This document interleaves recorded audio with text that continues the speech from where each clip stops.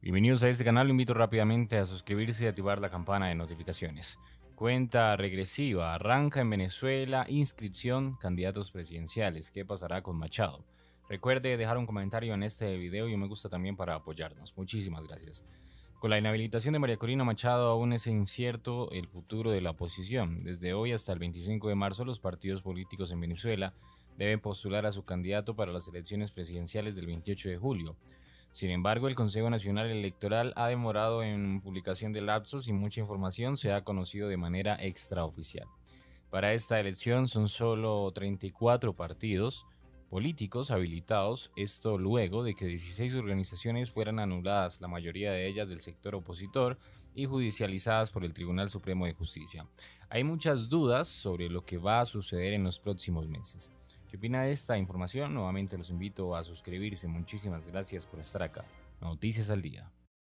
A la voluntad popular, pero al mismo tiempo quieren hacer una... Estamos aquí de nueva cuenta hablando yo de algo que yo te decía que veía que iba a pasar y que si había un plan B. Este, te lo decía yo en la última entrevista que hicimos, ¿te acuerdas? Estaba Leopoldo también, estuvo Juan Guaidó también aquí en el programa. Y yo les decía, eh, lo que viene es esto, se va a llegar a este punto, ustedes no son eh, inocentes, ya lo ven venir también, ¿hay algún plan B?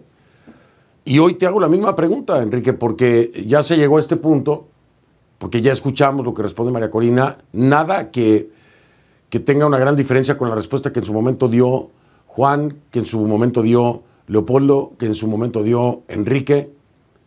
Eh, con todo respeto para Marcorina, pero es un mensaje también que se repite con algunas variaciones.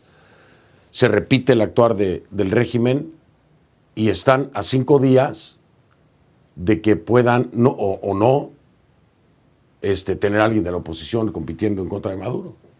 ¿Cuál es el plan B? Bienvenido, Antonio.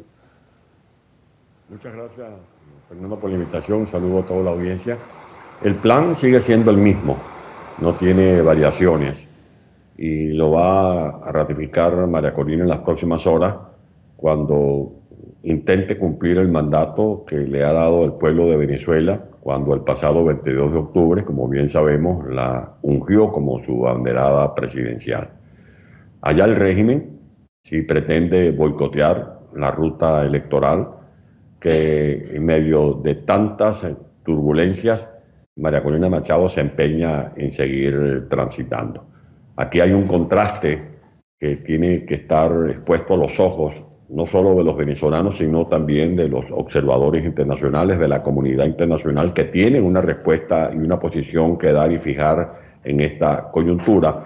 Una María Corina Machado empeñada en avanzar como una maratonista de fondo, superando obstáculos por la senda electoral, con el respaldo inédito, espectacular de más del 90% de los venezolanos, y un Nicolás Maduro que se ha burlado de nuevo de la comunidad internacional, que cobró de contado en los diálogos de México y de Barbados, que rescató hasta su testaferro de oro y que ahora pretende montar un fraude, porque hablar de unas elecciones sin la participación de María Corina Machado, eso podrá ser cualquier cosa, un conejo, un, iguana, un fraude, una trampa, pero elecciones libres no serán y por eso María Corina va a seguir insistiendo hasta que logremos que Venezuela pueda avanzar por esa ruta electoral pacífica a la que ya estamos haciendo referencia.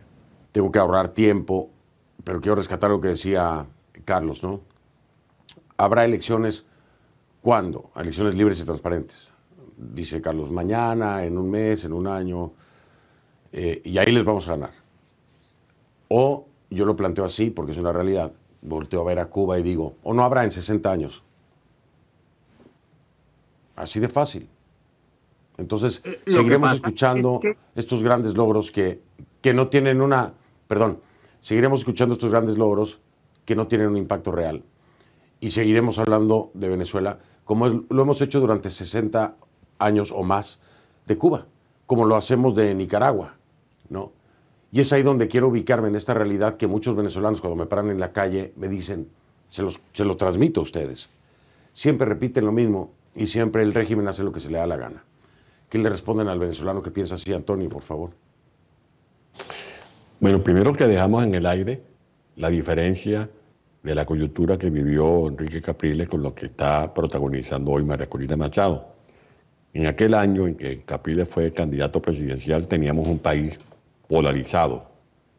Era un país partido en dos toletes, uno con lo que era el chavismo y otro con los factores de la oposición.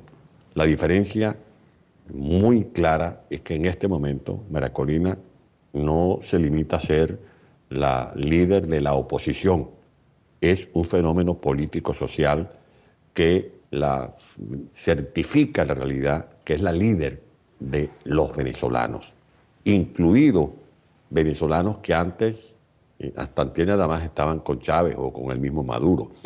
Ella estuvo, por ejemplo, recientemente en una población del estado Carabobo, Mariara, y cuando le pregunté a la gente que por teléfono se comunica conmigo cómo, cómo fue el acto, me decía, eso fue un acto de chavista. ¿Y cómo es eso? Más de la mitad de los presentes en ese acto eran activistas identificados hasta nada más con el chavismo, que hoy ven en María Corina Machado una alternativa de cambio profundo. Esa es una diferencia muy importante.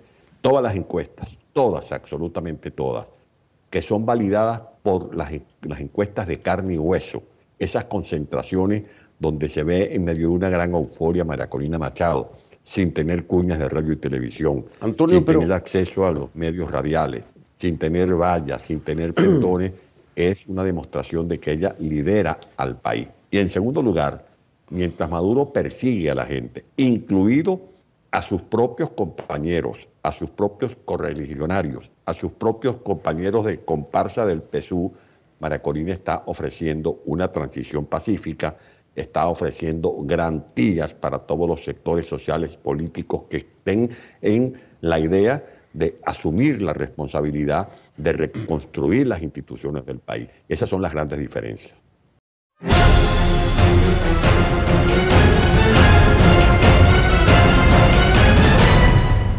Si no te quieres perder de los últimos acontecimientos que pasan en el mundo, suscríbete y activa la campana. Somos Noticias al Día.